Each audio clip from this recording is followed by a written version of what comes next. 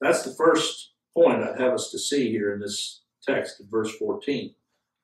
This gracious reception begins with God Almighty granting His mercy.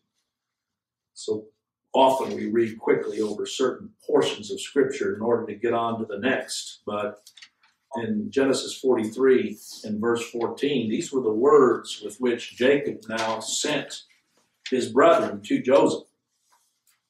And God Almighty give you mercy before the man.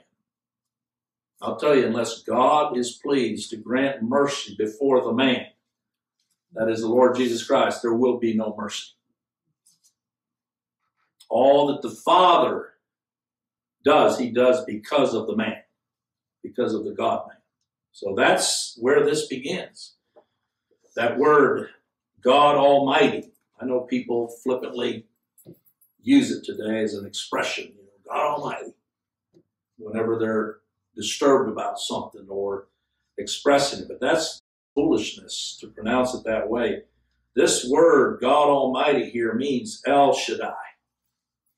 You've heard that song, El Shaddai, El Shaddai. That's this word right here, a name for God. And the first time, there's no coincidence in Scripture.